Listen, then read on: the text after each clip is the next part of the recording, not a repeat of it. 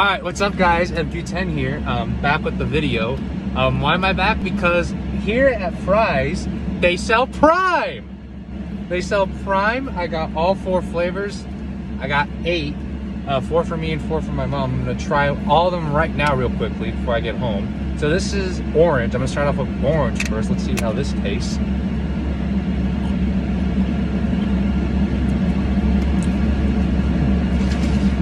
Not bad. Okay, that's good. Um, I'm pretty sure there's like a grape flavor, but I didn't see one. This one is a tropical punch. Try this one real quickly. Ooh, oh yeah. Oh yeah, that's good. Mm, that's good. Or, or do they have a grape? Lemon lime. I think those are the only four flavors they have. I'm not sure.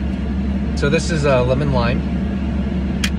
Sorry for my mask and my uh, my cross right here.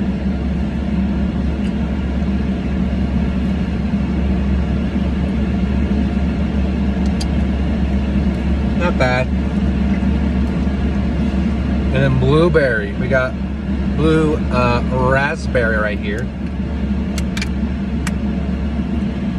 Has coconut coconut water in there, and I'm not really a big fan of coconut water, but